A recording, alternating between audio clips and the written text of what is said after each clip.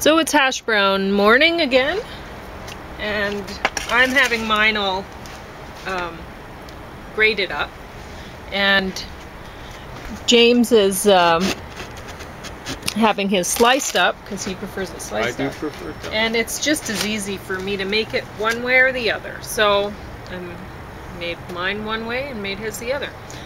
And we're having guacamole and oranges and lychee nuts for dessert because I don't know how those lychee nuts are going to be. and t- tomatoes with the Yeah, because we have lots of tomatoes that potatoes. we bought a bunch and then we had a bunch given to us. So we have a lot of tomatoes. And pretty soon And pretty we're gonna soon, have yeah, them we'll have coming them. in. Got Uh-huh. a few from your uh, garden already. Yeah. Mine tomatoes are behind, but that's the way it goes. Mmm, you're going to be reviewing that finally. You finished Well, it then. I haven't finished with it, but I have finished up one thing. So do you want me to start? Yes, you go ahead. So uh, this is uh, called The Bell Jar by Sylvia Plath. So I'm reading uh, I'm reading three things about or by Sylvia Plath. So that's The Bell Jar by Sylvia Plath. This is the original. And then I'm reading uh, something by I think it's Anne Stevenson, a poet. I've read, I think, some of her stuff, but I don't know if she's a real poet or one of the, the fake that uh, write, or wrote short prose. And, you know, like classic is William Carlos Williams, you know. He just wrote short prose, really prosaic stuff, too, you know, like uh, per unit uh, Syllable? writing Whatever. syllable. James Joyce uh, writing prose was way more poetic than William Carlos Williams, and not striving to be poetic. I don't mean like oh poetic like uh, artsy shartsy kind of stuff. But uh, William Carlos Williams is strutting around this world. and I hope he wasn't a fake doctor, like so many GPs. Uh, Yeah, he might have been both, fake yeah, poet and fake doctor. been. It's hard to say. But uh, so uh, it's a biography, kind of a literary biography of Sylvia Plath. And when it comes to writers, that's about the only thing I'm interested in. You know, like I am not really overly interested in the all the scandal and stuff like that unless it has something to do with the writing. And of course, there there's all sorts of melodrama in Sylvia Plath's life. She committed suicide right after publishing this novel, The Bell Jar, anonymously. That was back in 1963. So uh, she would have been somewhere around. I think she was born in 32, so she would have been in her very early 30s, maybe 31 Anyway, I haven't actually finished this. You know, truth in advertising. So, you know, if uh, all you little trolls out there, you know, like. Uh, you know, like I'm, I'm not going to give you some ammunition. How far have I got in this? Oh, I'm uh, about a sixth no, what is it? Uh, fifth of the way through. A little more than fifth of the way through. Uh, yeah, so I'm, I'm 50 pages through this. So I'm just slaving my way through it. But here's what I actually got through. The weird thing is, I got through the Norwegian translation before I got through the English original. So it's something like I hope uh, you Norwegian folks uh, will excuse my mispronunciation. Glass klokken. N means the. Isn't that weird? They put the the. Well, they probably think it's weird that we put the the before. But en means the. If I'm not mistaken in Norwegian. So I'm teaching myself Norwegian by um, reading an English original in translated into Norwegian. So, uh, uh, Glass Clock, and I got through it the other day. And, uh, but you know, like uh, it's I'm teaching myself more and more about the vocabulary. I got through it. I got much, if not most, of the basic uh, grammar down. Did you And- want some guacamole? I did lick Yeah. my finger around the Sure, edge. sure. Yeah. So uh, yeah, it's about 200 pages in the Norwegian thing, and I'm, I'm halfway through. No, yeah. Okay, trolls. You know, like control yourselves. You know, like uh, like don't uh, wet yourselves uh, with uh, eager glee or anything like that. So I've got through it, but uh, I've gone through it once, uh, all the way through. But uh, what I what I'm doing is I'll show you. Okay, camera person, get ready. I'm You, just joking. you want me to? no, no, no, no, no. I'm just joking. Get set for a, a close up. But you see, well, I'm going to do a step closer. to- Yeah, you just do that. So I don't have to No, no, no. I wasn't talking to you. I was pretending that we had a camera person. So here's what I here's uh, what I've gone through once. Oh, there. That's. But here's uh, what I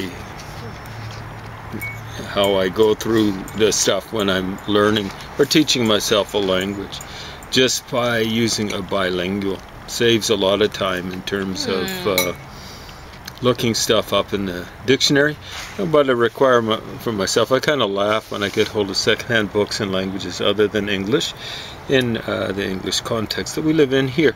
I'll find that people have started. It's like a New Year's resolution. They're going through the book, and they uh, they they put in.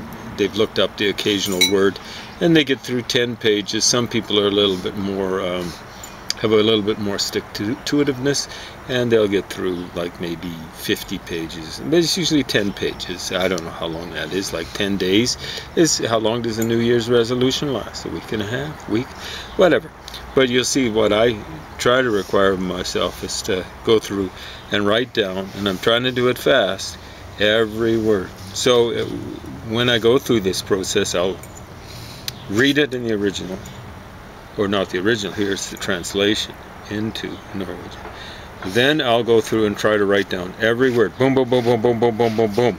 Then I get out the bilingual, the bell jar, and I'll go through that again, trying to fill in it all. Every so occasionally, uh, there'll be an idiomatic translation, and there won't be a word for word correspondence, but that's just part of the learning process. You learn idioms and stuff like that. And then I'll go through it uh, again after I've filled it all out, but I'm just trying to read it without the, the it's just a hint, right? I'll, I'll look at what I've written in there, but I'll try to read it in Norwegian. So I'll go through it four times, and then I'll be going through the English once. So uh, I've actually gone through. I was saying I've gone through 50 through 50 pages, but I've actually gone through over 100 pages using this uh, process. So uh, you see, you, you trolls out there, you wet yourselves uh, prematurely. Right? You got too, too excited. So yeah, you know, like I'm thorough, thorough, thorough, thorough. When I don't go through something, it's just because something's had to go back to the library. But if I've got the uh, if I've got hold of Oh, something, but you don't do that to library. I don't do it to library no, no. books. This is my own book. Uh, I would have got it used. They're used. Yes. No, it looks kind of old-fashioned, very but the binding is wonderful. If you ever get hold of this, uh, don't pay uh, money. It was published in 1986, but my heavens, you know, like it's uh, uh, the binding is wonderful. Whoever published this in, in Norway, it's 1986. It's not as old as it might look. Uh, the Norse Book Club, it looks like the Norska Book Club. Uh, excuse me uh, for the mispronunciation if you're tuning in from Norway. I'm trying. You know what I'm saying? I'm trying. So ultimately, uh, see, like this is a much newer edition. I think it's from t- 2005. Well, 1963 is when it was published originally. As I was saying, I guess I got that right. 2005, and it's falling apart. Now I've been, you know, I go through this stuff pretty intensely. I haven't marked it up really, but uh, there's no need to. What I have to mark up is the Norwegian stuff. But um, so I, I'm able to do this with uh, languages that uh, share a significant vocabulary with English, like French, Portuguese, Spanish, Italian. I haven't got a hold of any Romanian, uh, but uh, I'll be able to do that with Romanian. Uh, uh what is it from? Uh, from is it Ro Romanche or something like that? Uh, from Italy, Reto Romanche. I'll be able to do with that. I don't have any stuff, but as soon as I can relatively safely get on the internet, we don't have it at home. I have to go to the university or Pauline could go to the library, something like that. I can't do that because my immune system's um, challenged, shall we say. I've got lots of comorbidities when it comes to the various variants of uh, COVID the original COVID too. So, uh, I probably yeah. shouldn't be going to the library either. I just, I've well, you've got both been, your shots. I do, and, and you're very careful. You I wear the mask, you, and, and, I take clothes off when I come back. Yeah, and you have a bath. Usually, yeah. if you can't, then then I use the wet wipes to wipe yeah, exactly everything right. off. So, yeah. yeah, if people were as careful as you, the thing you wouldn't even had to do the Australian. We wouldn't even have to do the Australian thing here. But um, people just aren't careful.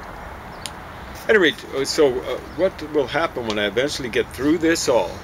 This will take me about a hundred hours, which doesn't seem like that much, but that's more than a one course. And the significant thing that's reading. You see, like there are four different components to learning a language, uh, or just knowing a language. Uh, there's reading, writing, speaking, and hearing. You know, I'm only concentrating on the one quarter. It's the easiest part, right? I don't want to get all melodramatic about uh, what I'm doing here. But uh, what that is, you see, is the equivalent of four courses in writing, just in doing this uh, 200 uh, page book. Four courses in writing. And it's uh, literary stuff. I don't want to overstate what's, what's happening because this isn't quite the same thing as reading something like in the original Sigrid Undset. You know, I've, I've got something uh, by her, and I, I want to get hold of the original, hopefully in the library. Uh, not not the original, but the translation into English. That's a bit tougher because you're dealing with idiom. idiom. Usually, when you're dealing with a translation from English, it's easier than if you're going the other way because they they end up having to stick to the original or trying to stick to the original, whatever. So yeah, it's well, maybe just have to take my word for it. It's, it's easy. So again, I don't want to overstate what I'm, I'm doing here. But the key thing is, along with whatever, uh, like, uh, like reading it uh, through, it's actually more than one course. Like it's a, the process that I go through, with going through it four times, that's the equivalent. It takes me about half an hour to get through a page, doing it the four different times. But I actually, what I do is I read it in a preliminary fashion. That's why I'm reviewing it. I've done it already. And then I'll read it in, uh, once I finish it all. It takes me about three minutes to go through, which is about uh, a third of the speed uh, that it takes me to go through. I'm pretty well average reader. It takes me about a minute to whip through a page in English, a page of this size. But when I'm going through the Norwegian, it's about three minutes. So ultimately, it'll be something like 120 hours or stuff it like that. probably takes you longer than that, though, because mm-hmm. I keep interrupting you. Well, I do put down reading. when I, I actually keep uh, time myself to see if I can speed up the process. Yeah. And uh, I'll say interrupted. I don't say who interrupted me. see, like it's always me. Not always. Uh, sometimes the well. Oh, the they might need sometimes outside. have to go outside, yeah. you know, or okay. whatever. And then sometimes I'll forget to go back. That's rare because it, this is a pretty exciting story. It's it's uh, tragically oh well it's uh, ultimately tragic. She survived. Uh, you know this is a spoiler alert. She tries to commit suicide actually several different times. The, her biographer says she committed suicide and she did uh, she'd made an attempt earlier, but she made many. Well, you know. she seemed like um, an interesting person from what you were telling me about. Well, yeah, well, almost like, like, too interesting. Yeah, like, like she, she really wanted to have wanted, all sorts of experiences mm-hmm. to write about when and she's she, young. Like she she's wanted to uh, be world class, really. Like well, known like a, even a world class housekeeper and a child all sorts of things. and so uh, it's interesting. stuff like that. Yeah. Um, so yeah. Now, you find, you know different uh, bipolar people have different cycles, Yeah. and uh, she she seemed to be very volatile, up and down and up and down. Some people, you know, they get really really high and then they'll crash. Well, it seemed and like it lasts for months. she was, even with her crazy um, bouts or whatever, Mm-hmm. whatever you want to call them, or it seems like she was more sane than the doctor that she hooked up with there because, um, well, he was dangerous for other people, right? Like he he. The, you were telling me about the one ski trip and stuff like that. Yeah, he was uh, pre med, I'd say. So he's called uh, Buddy Willard in this. What was his name? Dick Norton or something like that in real life. And, uh, you know, his middle initial is S. So sometimes he signed B.S. Willard. Okay, that's the character in the novel. That's kind of an unrealistic touch. I don't think anyone who knew anything would ever do that. Yeah. But um, it's kind of like a comic novel, first half. Anyway, um, she, uh, uh, after she visits him, I think for the first time, that would be the first time when he went into a TV san- sanitarium. And I guess it happened in real life to this Dick Norton or whatever. He'd been kind of like very athletic, and she says she in novels. It might have been something like that in real life. Been admiring him from afar for five years. I think it might have been more because I think some sort of a neighbor to Dick Norton. So he's a handsome guy, good looking or something like that. Well, there was a rest here for the TV. She turns up, expecting to see someone you know, all haggard and thin. He's fat. right? Mm. stuffing him with food and making him sit. So, so she's she'd already been disgusted by him. Now she's really disgusted by him. Mm-hmm. And the next day, he takes her out skiing. He can't ski himself. Mm-hmm. He's never taken any skiing. He's never done skiing, but he's mm-hmm. seen people instruct other people. So of course he I've thinks he's an expert oh, because here he is, you know, probably a eldest born son. He's a doctor, It, right? it- it could be. Well, she's eldest born kid, not with a younger sister like you. yeah, okay. hmm So there's, I guess there's some problems with um, There's problems women with her. who are only children. They end up Well, she's not only child. But, a lot like a, like a firstborn son. Yep. But um, when you're a, apparently when you're an eldest woman, when there's only two siblings and the other one is a daughter, a Mhm. younger, Yeah. like a younger sister, Yep. then um, you end up more like me, which is more like a middle son. Mhm. Which I think, like I told James, that this is probably because it may just be a societal thing, or it might be a, the um, the family structure, maybe in a more patriarchal sort of system. Um, which I think that's actually natural. I think um, men are bigger. They tend to be bigger, so they're going to set the rules for the family. on average, I'm- Right? we're not saying it's uh, that's the way it should be. Mm, I that's think the way it's it's been the way it is. I think I actually believe that is the way it should be, and it's not. I I don't necessarily like it, but I um I can understand why it should be that way because men are bigger, they are stronger, and their will is going to be enforced. Now, if they're um, more gentle and stuff, well, that's good because it won't be enforced or else, right? Which is not not not a good environment for um, any family, any children to be raised in. So, uh, but anyway, I just what I was James was telling me about this whole um, uh, what was that book? Born to rebel. Born to Rebel. Everyone should read it. It should be. Anyway. it should really be called Born to Dissent. Yeah. The uh, youngest boys tend to be rebellious and violent, uh, almost more violent actually than oldest boys. Yeah. But when James was telling me about all this, he often, when he's reading a book, it's like I'm reading a book because I'm hearing all about this interesting stuff. So, which I don't know if I do that to you. Do I? I probably do, hey? I do. Okay, so when I'm reading a book, he's reading it too. But anyway, so he's reading and then he's telling me, and then he's reading and then he's so. So anyway, which is great because I get to learn. So I'm thrilled about that. I've learned about Sylvia Plath now. Terrific, because I probably wouldn't have bothered to read that on my own. I don't know, right? But anyway, so when he was telling me about the Born to Rebel and this and that and whatever, I said, well, that would be like with the females. I said that would be because the mother is like an eldest sibling in the family. So they kind of take the, for women, they become the eldest sibling. For men, this is not that way. There's they have the father, but they're um, The oldest son the oldest son, right? the, the big boss guy. Yeah, they're um, more pole position than the mother, really.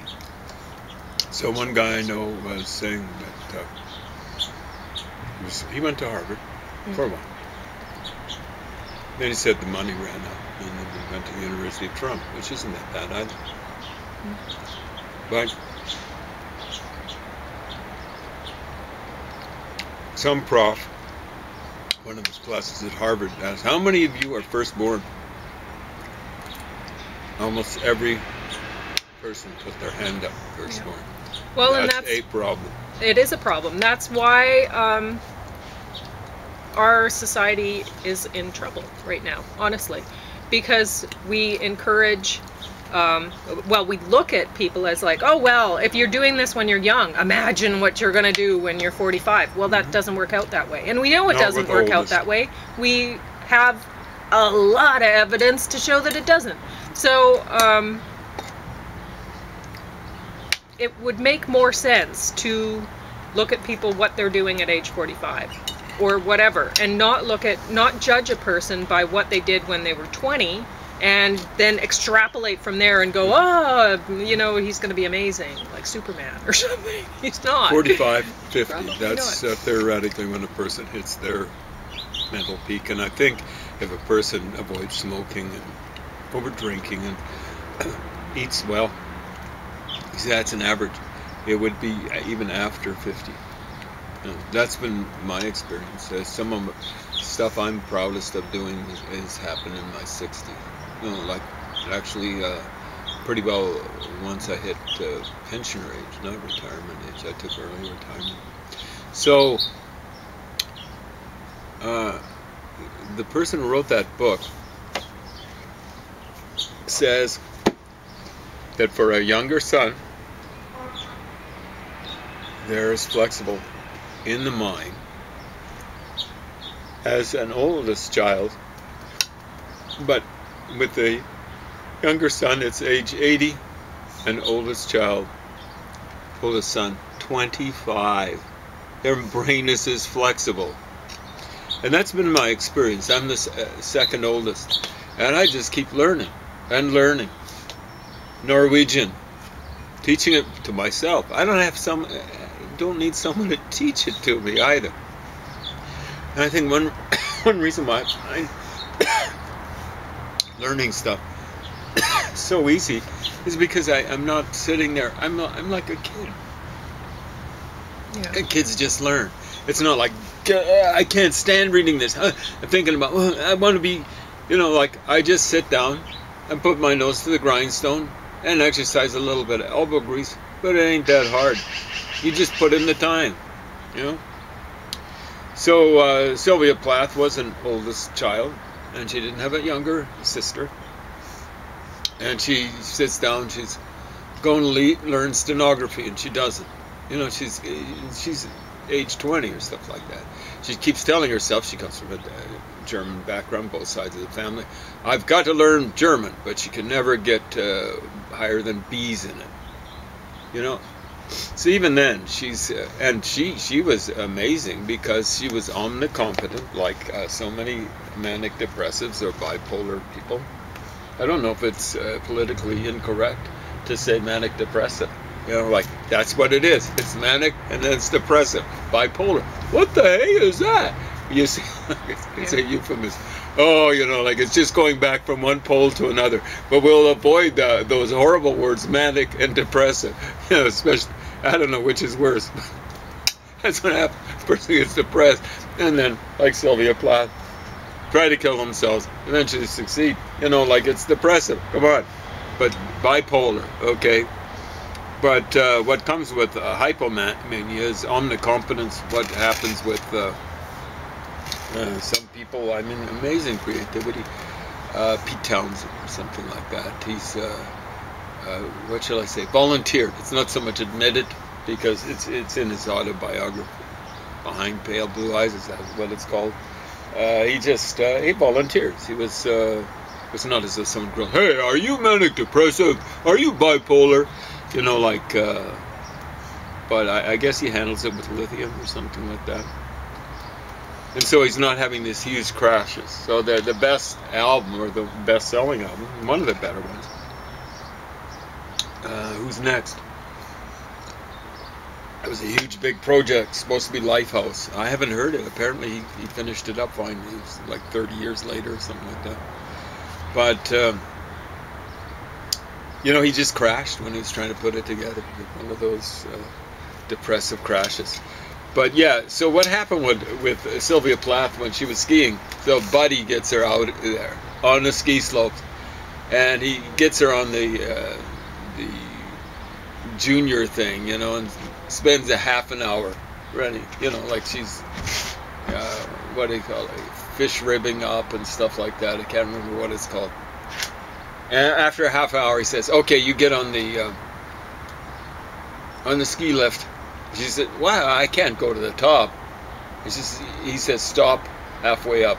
So yeah, she because she says she doesn't even know how to slalom. Yeah, she doesn't know how to so, slalom, so, so she, she can't slow down, that. right? Yeah, yeah. So she knows. Yeah, Wait a minute, I'm going to be going pretty fast if I don't know how to slow down. Yeah, exactly right. So he says stop halfway up. So she gets on the ski lift, and it's a different sort of thing than what we think of ski lifts. Anyway, there's a person in front of her, a person behind her. She's at, when she gets about halfway up, she's a, I can't stop this process. You know, like uh, she doesn't want to cause a fuss, so she goes all the way to the top. She gets up there, an idiot is waving. You know, like giving her directions. You know, like uh, sees an opening.